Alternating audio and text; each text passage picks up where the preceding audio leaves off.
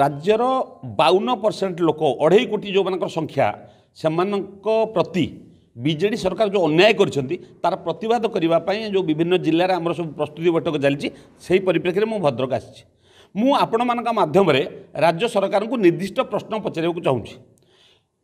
ସମ୍ପ୍ରତି ଯେଉଁ ପୌର ଏବଂ ପଞ୍ଚାୟତ ନିର୍ବାଚନ ଆଗକୁ ହେବାକୁ ଅଛି ରାଜ୍ୟ ସରକାର ଏବେ ଯେଉଁ ବିଧାନସଭାରେ ସଂକଳ୍ପ ପାରିତ କଲେ ସଂଶୋଧନ କଲେ ଯାହା କଲେ ସେଠି ଓ ବି ସି ସଂରକ୍ଷଣ କେତେ ଏକଥା ରାଜ୍ୟ ସରକାର ସ୍ପଷ୍ଟ କହିବେ କି ରାଜ୍ୟ ସରକାର ଦ୍ୱନ୍ଦ୍ୱାତ୍ମକ ଉତ୍ତର ଦେଉଛନ୍ତି ବିଭିନ୍ନ ଗଣମାଧ୍ୟମରେ ଆମେ ଦେଖିବାକୁ ପାଉଛୁ ଯଦି ପଚାଶ ପରସେଣ୍ଟ ଭିତରେ ସଂରକ୍ଷଣ ରହିବ ତାହେଲେ ଓ ବି ସିର ଭାଗ କେତେ ଉଣେଇଶହ ଛୟାନବେଠୁ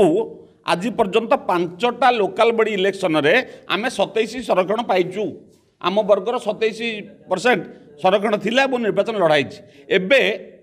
ପଚାଶ ଭିତରେ ରହିବ କହୁଛନ୍ତି ସତେଇଶ ପର୍ଯ୍ୟନ୍ତ ଦେବେ ବୋଲି କହୁଛନ୍ତି ତାହା ସ୍ପଷ୍ଟ କରୁନାହାନ୍ତି କାହିଁକି ଯେ ଓବିସିଙ୍କ ପାଇଁ ସଂରକ୍ଷଣ କେତେ ଦେବେ କେନ୍ଦ୍ରକୁ ଚିଠି ଲେଖିବା କଥା ଗୋଟେ ବାହାନାବାଜିର ପୁନରାବୃତ୍ତି ମୁଁ ଶୁଣିବାକୁ ପାଉଛୁ ଆମେମାନେ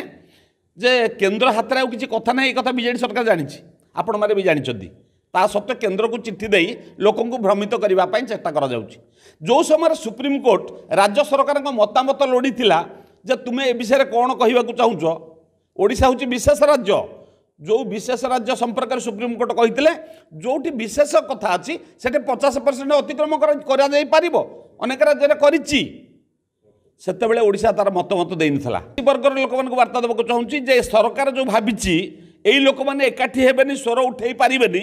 କ୍ରମାଗତ ଭାବରେ ବିଜୁବାବୁଙ୍କଠୁ ନବୀନ ବାବୁଙ୍କ ପର୍ଯ୍ୟନ୍ତ ତାଙ୍କୁ ଯେଉଁ ଅଣଦେଖା ଏବଂ ଷଡ଼ଯନ୍ତ୍ର ହେଉଛି ତାଙ୍କ ବିରୁଦ୍ଧରେ তার প্রতবাদ করা স্বর উঠাইবা সতেইশ পরসেন্ট সংরক্ষণ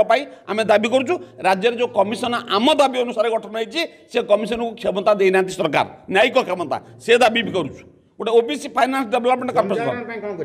জনসাধারণ এটা তো কেবল জনসাধারণ ওড়শা কহিলে সর্বাধিক লোক